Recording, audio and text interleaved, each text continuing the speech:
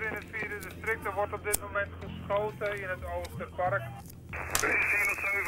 Begrijp dat iemand gewond is. We hebben hier een ambulance nodig. Gewapend met een vuurwapen. Ik zie hem lopen, HB. Hij heeft een mutsje heeft hij op een ringbaardje. Marokkaans uiterlijk. HB Verenigd Kracht erin, nu weg uit het park in de richting van de Mauritskade. Rent in de richting van de Mauritskade. HB, er wordt verschrikkelijk geschoten op de Mauritskade. Klaas van Os was veroordeeld wegens dronkenschap, verzet tegen het gezag en vooral wegens majesteitsschennis.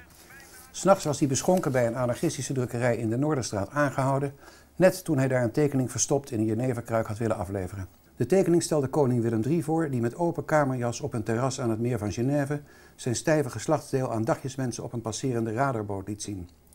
Op de penis prijkte een kroontje alsof hij de koninklijke scepter was en eromheen wapperde een oranje lint waarop Je m'entendrez stond.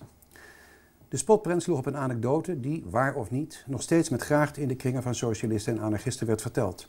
De Zwitsers zouden Willem hebben geprest van zijn vakantieoord te vertrekken, waarop hij bij zijn thuiskomst woedend zijn minister van Oorlog had verordend de marine op Zwitserland af te sturen, maar in zijn spreekwoordelijke razernij over het hoofd zag hoe dat dan zou moeten, aangezien Zwitserland niet aan zee ligt.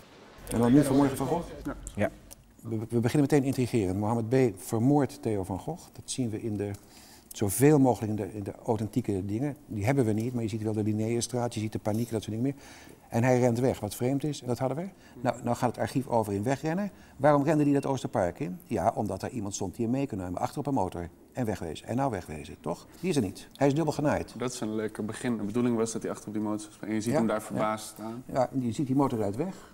Hij roept nog. Kan, hè? Hij roept nog Kasper, dan weten we ook wie dat is. Ja. Er zijn behoorlijk veel affaires, schandalen, met name de Tweede Wereldoorlog direct daarna. Natuurlijk ook het Koningshuis, andere zaken, die niet zijn opgelost. Ofwel archieven zijn er niet meer, of personen zijn dood, of zoals bij het Koninklijk Huis, alles is potdicht gesloten, mensen willen niet praten. Als je nou 70, een beetje stelregels, 70 of 80 procent van de feiten hebt, maar er is nooit, historici kunnen dat niet, ze moeten alle bronnen verantwoorden. Journalisten ook, zijn ook wat haastiger. Ik vind als een romancier, mits je geen smaad of laster pleegt, ja, mag je die laatste 20% zo logisch mogelijk opvullen. Het zou zo kunnen zijn geweest. Ja, dat is heerlijk werk. En dan los ik ook iets op. Als de Groot, die heel goed weet waar dit om gaat, namelijk die, die instrueert Mohammed Boudjiri zelf, ja, weet dat de AIVD Mohammed, dan, dan, wil ik altijd die banden hebben. Want we luisteren ze nu weer, toch? Mm -hmm. Toch? Mm -hmm. Dan klopt er iets niet wat we doen, jongens. nou, ik hou me kop. Nee, want als Mohammed Boudjiri zou werken voor de AIVD, weet Mohammed Boudjiri ook dat het appartement van de Hofstadgroep afgeluisterd wordt. En zal Mohammed Boudjiri dus niet het risico lopen dat daar geluld wordt over de moord van Theo van Gogh. Ik denk dat we moeten laten vallen dat hij werkte voor de BVD. Tegen die de Groot moeten we iets heel mm goeds kunnen verzinnen. Uh, zodat hij zich waanzinnig bedreigd voelt door het feit dat Theo van Gogh dat weet. Ja. Ik, even een sigaret roken, jongens? Yes. En het heeft te maken dat ik journalist ben geweest. Het heeft ook te maken dat ik geschiedenis, denk ik, heb gedaan. Nou, een vader die bij de BVD heeft gewerkt, die natuurlijk ook raadsels achterliet. Wat zijn dat dan voor affaires? Waar was die man mee bezig? Ik word wel van beschuldigd, geloof ik, van complotdenken en dat soort dingen meer. Maar ik wil altijd heel graag horen, wat, wat, wat klopt er dan niet? Wat deugt er dan niet? Kijk, ik heb twee series gemaakt, Schavuit van Oranje en Beatrix Oranje onder vuur. Ik zou het leuk vinden als majesteit, dus we wonen samen in Den Haag. We drinken allebei wijn, we roken al, zegt zij dat ze niet rookt, maar ze doet ze wel. Nou, dan nodigt ze mij toch uit even op uh, Noordeinde of Huis ter Bos om op de fiets te doen.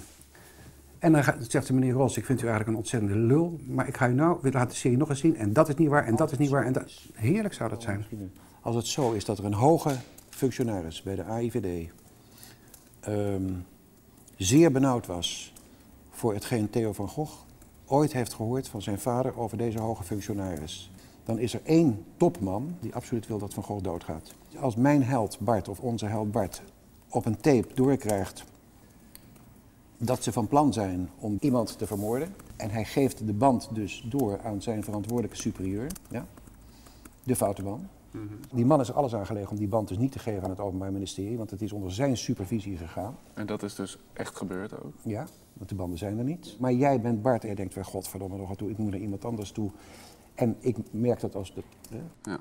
Dan krijg jij een heel vreemd scooterongeluk van mij. Of je belandt in het water of noem maar op. Toch? Mhm.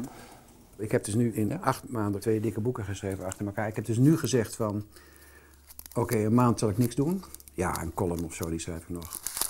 En we gaan lekker naar Frankrijk toe. En dan moet ik beloven dat ik de laptop niet meeneem. Maar ik weet dat ik in Frankrijk na weken, dat weet mijn vrouw ook, dat ik een bloknootje koop en een pen ergens bij, bij een dorpswinkeltje. En, als, en ja, goed, maar wat moet ik dan gaan doen? Goudvissen kweken of zo? Of, eh, toch? Nou, de moeilijkheid wordt straks als Bart dood is en Saskia gaat speuren. En ze heeft nog iemand nodig, denk ik. En dan ontzettend uitkijken als die fout is. Is die niet fout? Waarom is die er? Wie is dat? Want als het een leuke jongen is die ze vertrouwt en het, het, het heeft een happy end. Ja, dat is eh, zoals Theo dan vroeger riep, braken, braken, weet je wel. Ze mogen niet gelukkig worden, allemaal dood, riep hij dan.